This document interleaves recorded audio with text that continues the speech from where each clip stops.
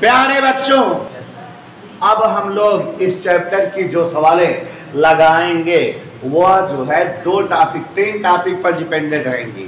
तो मेरी इच्छा है कि जैसे जो बच्चे थोड़ा आजकल में आ रहे हो, उनके लिए हम थोड़ा सा सूत्र का दर्शन करा दें। आप सभी लोग तनमंधन से स्मरण करिए सूत्र महाराज को और उनका दर्शन करिए। ठीक है? तो ध्यान दीजिएगा, ऐसे फार्मूले जो अब इस्तेमाल होंगे, वो कुछ इस तरह से देखिए, मीटर सेतु, एक बला है मीटर सेतु परिपथ, और इस चैप्टर में मीटर सेतु परिपथ से लंतरानी हम लोगों ने लड़ी है। मीटर सेतु परिपथ, जब भी जो है सवाल में चर्चा में आए तो जान लेना कि सर जी अब यही सूत्र इस्तेमाल करेंगे, जो मैं लिखने जा रहा हूँ। ठीक है? तो ध्यान दीजिएगा, अभी तक जो सवालें थी मिक्सअप कम से कम पंद्रह सूत्रों पर थी। अब एक एक सूत्र पर जो है चर्चा पचपन सवाल है। इजी हो जा रही हैं। और हाँ मीटर से तो पचपन पर और विभव मापी पर एक सवाल पक्का एग्ज़ाम में आती है। ये भी जान लीजिए। और कठिन नहीं होती, सरल होती है। अज्ञात प्रतिरोध। सभी लोग ध्यान दीजिएगा। अज्ञात प्रतिरोध यस बराबर। ध्यान से देखिए। सौ माइनस यल बटा यल गुड़े आर। यही सूत्र का प्रयोग करेंगे। और प्यारे बच्चों, इसी सूत्र की सहायता से मीटर से सेतु परिपथ की कोई भी सवाल इस्तेमाल हो जाएगी, लग जाएगी। एक सूत्र चार सवाल। ऐसे ही है। एक और परिपथ का हम आपको दर्शन कराने जा रहे हैं। विराम और जो विभव मापी है बेटा, सोचो, जो बच्चे लेट लपेट क्लास ज्वाइन किए हो, उन्हीं के लिए सूत्र लिख दे रहे हैं कि जिससे कम से कम सवाल तो आ जाए। और मेरा भरकस प्रयास है कि इस हफ़्ते ये चैप्टर समाप्त और थ्योरेटिकल चैप्टर स्टार्ट करूँगा, जहाँ जो भी पढ़ाऊँगा, सबको एकदम ठूस दूँगा दिमागवा में। हाँ लुघिया विभव मापी। विभव मापी में सेल का अज्ञात विद्युत वाहक बल। गौर फरमाइएगा या, दो चीज़ें। परिपथ का अज्ञात विभुवांतर। चाहे जो रहे। चाहे ई डैश रहे, चाहे वी डैश रहे। दोनों का ही formula E upon capital L into small L इसी सूत्र का प्रयोग करेंगे। और प्यारे साथियों, मात्र दो सूत्र लिखा हो, और कम से कम दस सवाल लगेंगे। तो आप समझ रहे हैं कि अब इस चैप्टर की सवालें आपके सामने। सरल बोले तो हलवा मिलने वाली हैं। ठीक है? अभी तक सवालें प्रतिरोध संयोजन के नियम फलाना ढेम का ऐसे आते थे तो कठिन हो जाती थी। अब दो ही सूत्र पर। कभी सवाल में मीटर से तुम चर्चा करेगा, खोपड़िया में ये सूत्र याद आ जाए। और जब कभी जो है विभव मापी कहेगा तो खोपड़िया में यह सूत्र आ जाना चाहिए। थोड़ा एक्सप्लेन कर दे रहा हूँ कौन, क्या, कहाँ है, कैसे, किस तरह से है। तो गौर फरमाइएगा। यहाँ एल एल स्मॉल एल का मतलब है, आप जानते रहिए सवाल में दोनों के केस में स्मॉल एल शून्य विक्षेप की स्थिति, जैसे कहेगा दारा मापी में 10 सेमी दूरी पर शून्य विक्षेप की स्थिति पता चलती है। इसका मतलब दैट इज़ स्मॉल एल भगवान, और तुरंत उसको लिख देना, ओम स्मॉल एल बराबर इतना। ओके? भक्तिमय हो जाओ, पूजा पाठ नहीं करती हो। तो यहाँ ध्यान दो जरा स्मॉल एल मतलब धारा मापी की शून्य विक्षेप वाली स्थिति का मान। इस एल माने धारा मापी में शून्य विक्षेप स्थिति। गौर से समझिएगा, वाला मान। सभी लोग को समझ में आ रहा है, हम क्या लिखे हुए हैं? और कैपिटल आर मतलब प्रतिरोध बाक्स से जितना प्रतिरोध निकाले। कहे वो जो है प्रतिरोध बाक्स से दस ओम का प्रतिरोध निकाल रहा है तो बोले आर बराबर दस। ओके आर बराबर प्रतिरोध बाक्स से सोडियम रहेगा। निकाला गया प्रतिरोध। प्यारे बच्चों, सवाल क्लियर हो जाए, इसलिए एक्सप्लेन कर रहे हैं। और कैपिटल ई मतलब प्रमाणिक सेल का विद्युत वाहक बल, जो सेल, जो अभावकाली रहता है, दिया। प्रमाणिक सेल का विद्युत वाहक बल। कैपिटल एल माने परिपथ की संपूर्ण लंबाई। मान क्या है, ये बताए हैं। तो आप अगर इन चीज़ों का ध्यान रखोगे तब सवाल समझ में आ जाएगी। गौर से देखो जरा। एक बार फिर से समझ लीजिए। प्यारे बच्चों, हमको अब दो जो है प्यारे और खूबसूरत, थोड़ा मलाई टॉपिक पर सवालें लगानी है। जैसे कि हम अब चर्चा करेंगे मीटर सेतु और फिर चर्चा करेंगे विभव मापे की।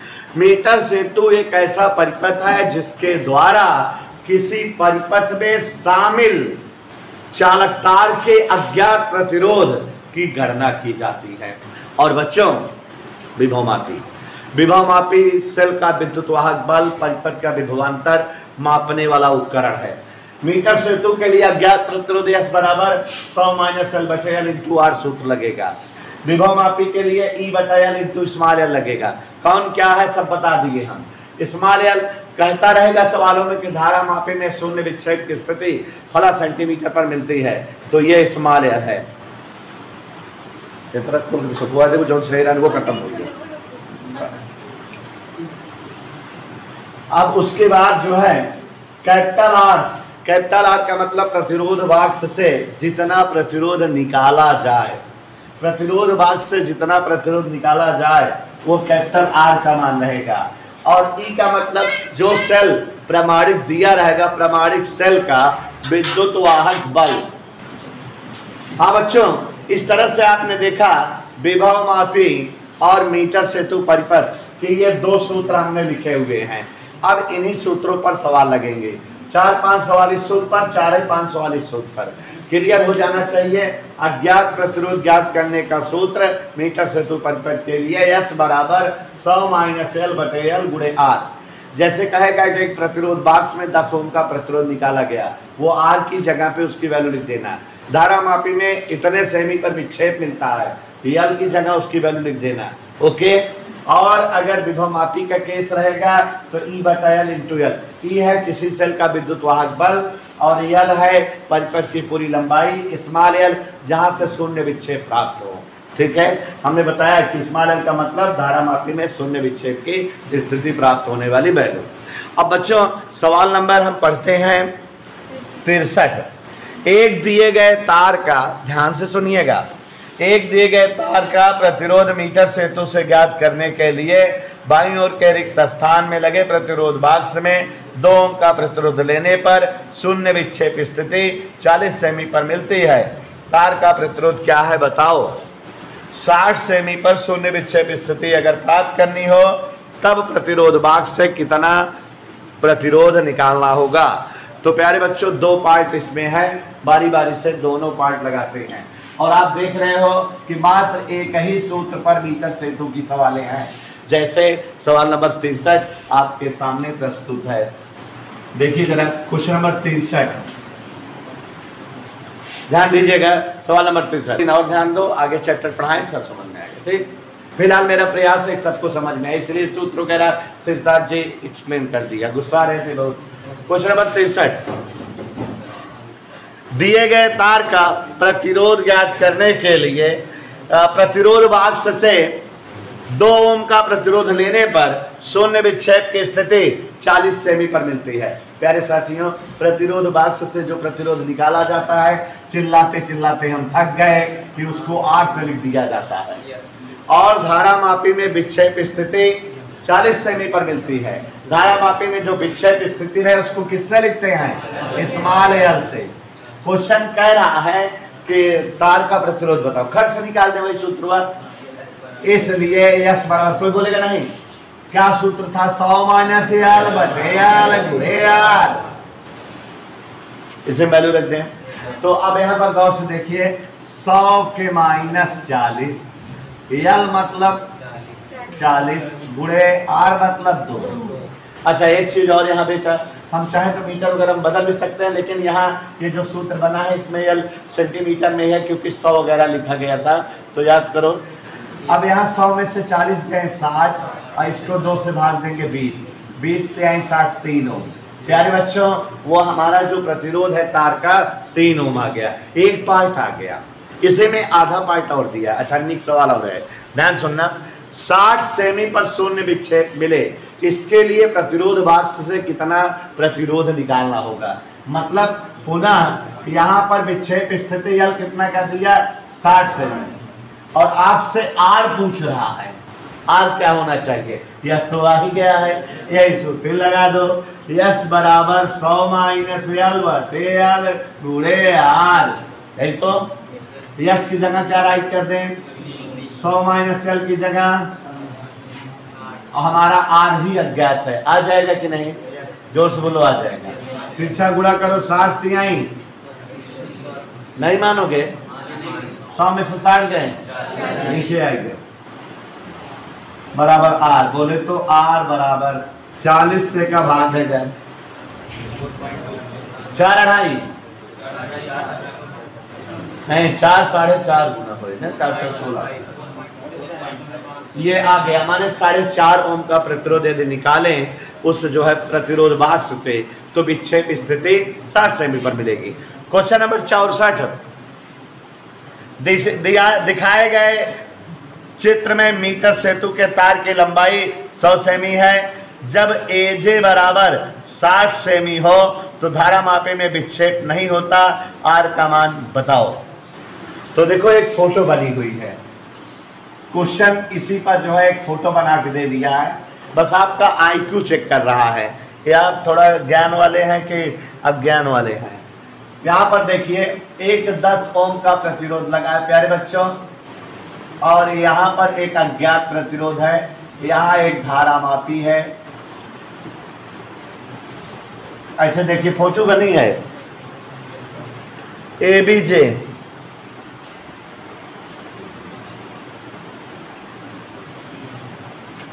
ऐसे चित्र बना है, यहाँ बी है जौकी स्विच है सेल है। सभी को दिखाई दे गया होगा। यहाँ जो है अज्ञात है प्रतिरोध, मालूम नहीं है। आर ओम लिखा है। क्या लिखा है बेटा?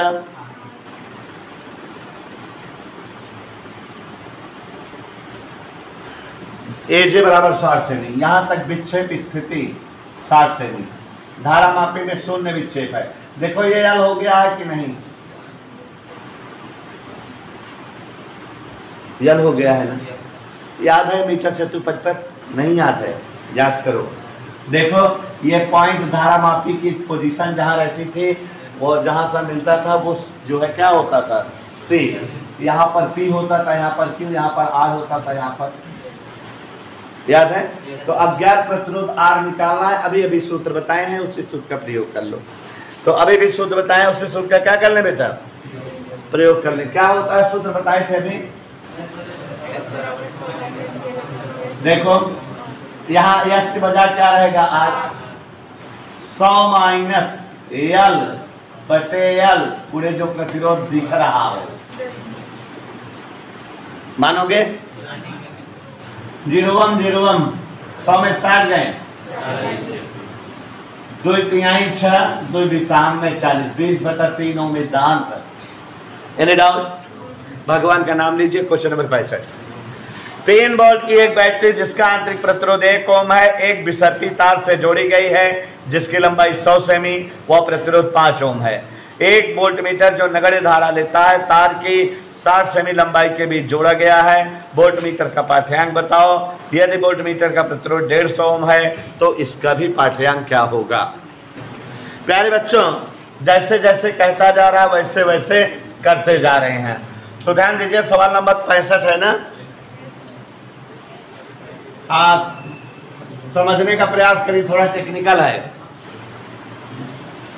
तीन वोल्ट की एक बैटरी जिसका आंतरिक प्रतिरोध एक ओम है। प्यारे बच्चों, तीन वोल्ट की एक बैटरी है और इसका आंतरिक प्रतिरोध एक ओम।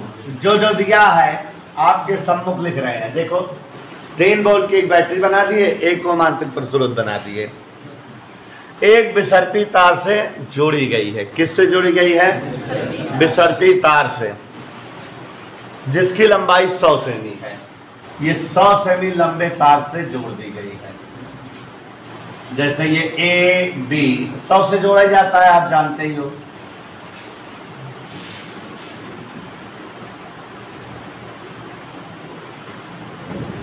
और इसका प्रतिरोध, इस तार का प्रतिरोध आर बराबर पाँच ओम। इस तार का प्रतिरोध कितना है? एक वोल्ट मीटर जो नगर धारा लिखता है, तार की 60 सेमी लंबाई के बीच जोड़ा गया है।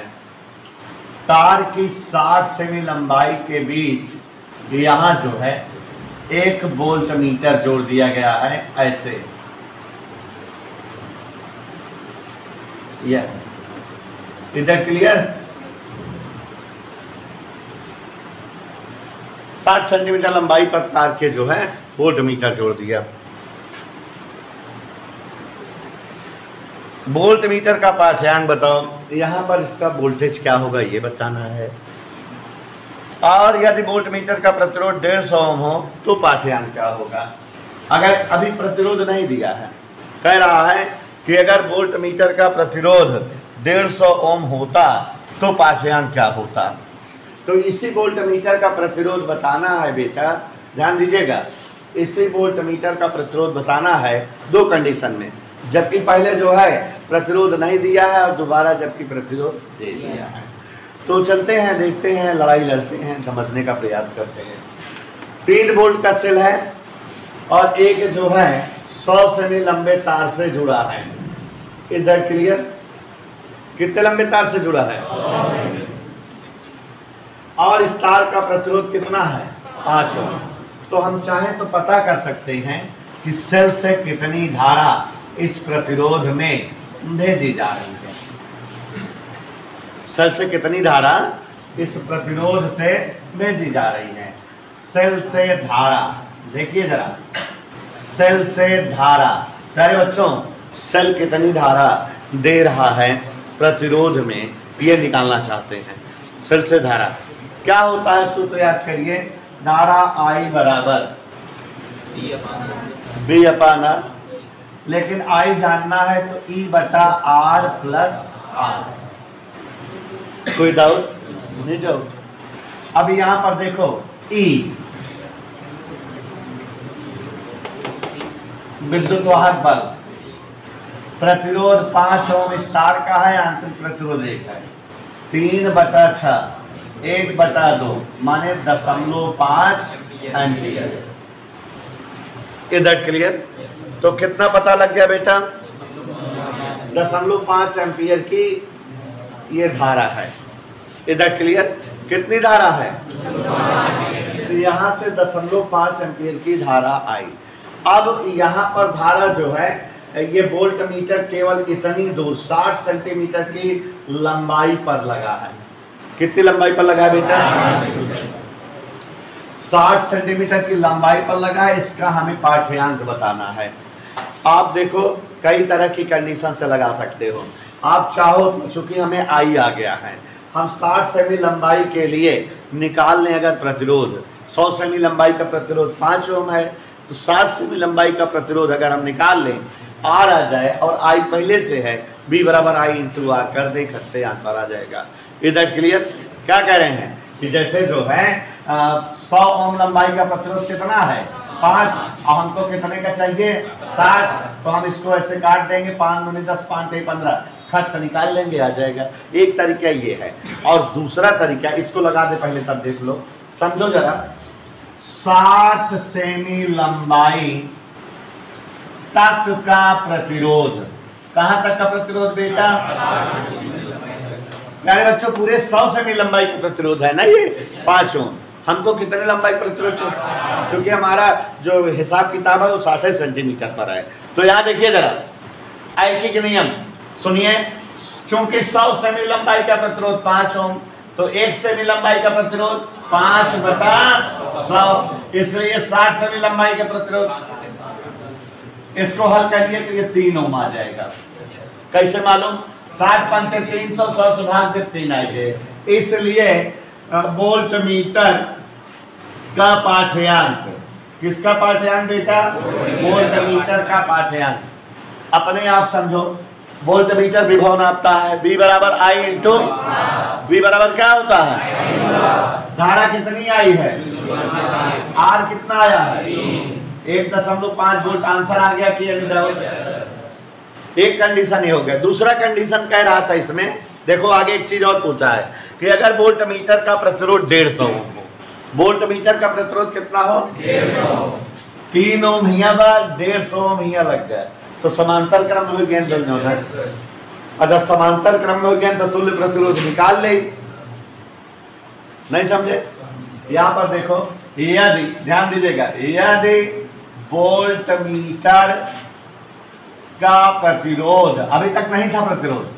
वो एक आंसर आ गया ये। वोल्ट मीटर का प्रतिरोध डेढ़ सौ ओम हो। तो जैसे यहाँ चित्र बनाए, हम ऐसे डेढ़ सौ कर दें। यहाँ तक कितना प्रतिरोध है? तीन। और यहाँ कितना है? तो दोनों का कौन सा संयोजन करेंगे? इसलिए तुल्य प्रतिरोध, अगर हम आर डैश माने तो वन अपान आर डैश बराबर वन अपान डेढ़ सौ प्लस वन अपान इधर क्लियर समझ आ रहा है कि नहीं? वन अपान आर डैश बराबर डेढ़ सौ लघुत्तम हुआ। एक बार जाए या पचास बार। नहीं मज़ा मैं तो आर डैश बराबर 150 बटे, इसलिए बच्चों वोल्ट मीटर का पाठ्यांक। हमको तो वोल्ट मीटर का पाठ्यांक चाहिए ना। अब अगर आप पाठ्यांक जानना चाहें तो भी बराबर आई इंटू आर तो आई तो दशमलव पाँच एम्पियर आई थी ना। और आर कितना आ गया? है गौर से देखिए, अगर अभी ये पचास होता, पचास दिया ही डेढ़ सौ, तीन पचे पंद्रह, डेढ़ हज़ार किनारे लेकिन यहाँ इक्यावन है इक्यावन से भाग देगा तो तीन से कम उत्तर आए दो दशमलव नौ वगैरह आए और जब हमें गुड़ा कर दिया पाँच से, फिर जब एक दशमलव पाँच आया एक दशमलव पाँच से छोड़ के कम आया, दशमलव चार हो रहा है ऐसे तो है तो कैलकुलेशन कर दिया जब भाग दे पे एक दशमलव चार आठ पाँच। ये आंसर आ जाएगा वोल्ट तो दोनों आंसर आ गया बेटा। एक बार समझ लीजिए जरा। यहाँ जो है, एक सौ सेमी लंबा तार था, लेकिन इसकी 60 सेंटीमीटर लंबाई पे वोल्ट मीटर लगा दिया गया। पूरे तार का प्रतिरोध पाँच ओम था, इतने तार का प्रतिरोध तीन ओम हो गया। अब इस प्रतिरोध तीन ओम में धारा जा रही होगी। उसी कारण वोल्ट मीटर पाठ्यांक बताएगा। धारा पहले से ही निकाल लिए ठीक है? और अब जो है वोल्ट मीटर का पाठ्यांक भी बराबर आई आर कर दिए। ये तब है जबकि वोल्ट मीटर का खुद का कोई प्रतिरोध नहीं है। माने इधर कोई धारा नहीं आ रही है। लेकिन जब वोल्ट मीटर में प्रतिरोध लग गया तो शामिलात प्रतिरोध इतना आ गया, और तब फिर पाठ्यांक आ जाएगा। इधर क्लियर बच्चों? समझ आया? प्रश्न नंबर छाछठ। किसी विभव मापी में एक दशमलव ज़ीरो एक आठ दो वोल्ट विद्युत वाहक बल के सेल के लिए संतुलन बिंदु तीन सौ उनतालीस दशमलव चार सेमी पर प्राप्त होता है। विभव मापी की विभव प्रमणता बताइए। प्यारे बच्चों आ, ये विभव मापी की सवाल 2016 और 2018 में आई थी। तो यहाँ देखिए जरा क्वेश्चन नंबर छठ कह रहा है ध्यान सुनिए। सभी लोग सुनिएगा। एक सेल एक दशमलव ज़ीरो एक आठ दो वोल्ट वाला है। किसी सेल का विद्युत वाहक बल एक दशमलव ज़ीरो एक आठ दो वोल्ट दिया है। और जब इसे यूज़ करते हैं तो किसी विद्युत वाहक बल वगैरह को नापने के लिए तो धारा मापी में संतुलन स्थिति तीन सौ उनतालीस दशमलव चार सेमी पर मिलती है। आप जानते हो धारा मापी में जितनी दूरी पर संतुलन मिलता है, उसे स्मॉल एल से व्यक्त करते हैं। यहाँ तक समझ में आया बेटा? फिर कह रहा है कि विभव प्रवणता बताइए विभव मापी का। सभी को बताना चाहूँगा कि विभव मापी के विभव प्रवणता। विभव प्रवणता बच्चों के से लिखा जाता है और विभव प्रवणता के बराबर ई बटा एल होता है सूत्र। तो यहाँ संतुलन स्थिति विभव मापी के लिए है, इसलिए स्मॉल एल लिखे हैं। नहीं तो अगर सेल की विभव प्रवणता कहता तो कैपिटल एल लिखते। दिमाग पे ध्यान देना इस बात का। तो यहाँ कैपिटल ई है एक दशमलव ज़ीरो एक आठ दो। स्मॉल एल है तीन दशमलव तीन नौ चार। ये ऊपर बोल्ट है, नीचे मीटर। इसको मीटर में बना लिए हैं। इसलिए तीन दशमलव तीन नौ चार सौ से भाग दे दिए हैं। अब आप इसका भाग दे देंगे? जब बच्चों भाग दोगे तो दशमलव तीन बार जाएगा। तीन त्रिका नौ एक दस। ठीक है? तो दशमलव तीन वोल्ट प्रति मीटर। सच बताऊँ, आंसर आ गया। कोई दिक्कत नहीं होनी चाहिए। 2016 और 2018 में आया था प्रश्न। अगला प्रश्न पढ़ रहे हैं। क्वेश्चन नंबर सड़सठ, सिक्सटी सेवन। किसी विभव मापी के तार में, ध्यान दीजिएगा, किसी विभव मापी के तार में प्राथमिक परिपथ द्वारा एक निश्चित विभव प्रवणता स्थापित की गई है। द्वितीय परिपथ में जुड़े एक मानक सेल, एक दशमलव ज़ीरो एक आठ वोल्ट तथा एक अज्ञात सेल के लिए संतुलन बिंदु, तीन सौ पाँच दशमलव चार तथा चार सौ पचास सेमी पर प्राप्त होते हैं। बताओ, विभव मापी के तार में विभव प्रवणता क्या है? तथा अज्ञात सेल का विद्युत वाहक बल क्या है? देखो बेटा, इस क्वेश्चन में दो पार्ट हैं। तो आप दोनों पार्ट ध्यान दीजिएगा तो समझ आ जाएगा। दोनों पार्ट ध्यान देंगे, आप सभी लोग देखो जरा।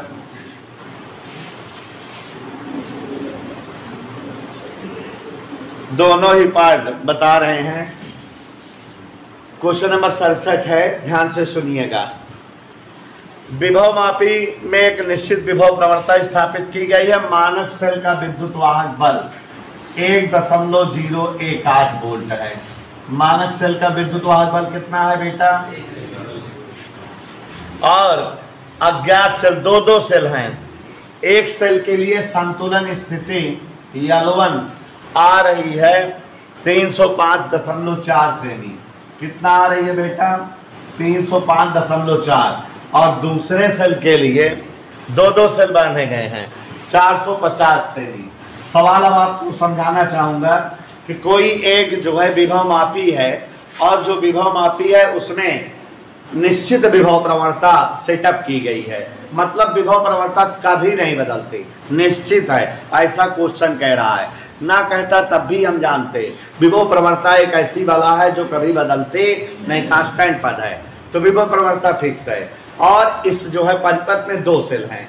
एक मानक सेल, जिसका वोल्टेज पता है एक दशमलव ज़ीरो एक आठ वोल्ट, और दूसरा अज्ञात वोल्टेज वाला सेल है।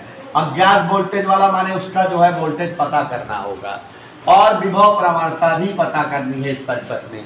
सवाल समझ में आ गई? एक बार फिर से देखो कि कोई एक जो है विभव मापी है, जिसकी विभव प्रवणता फिक्स है। और इस विभव मापी में एक सेल, मानक सेल इतने वोल्टेज वाला लगा है और इसके साथ एक सेल जो है, अज्ञात वोल्टेज वाला लगा है, जिसका वोल्टेज नहीं पता है।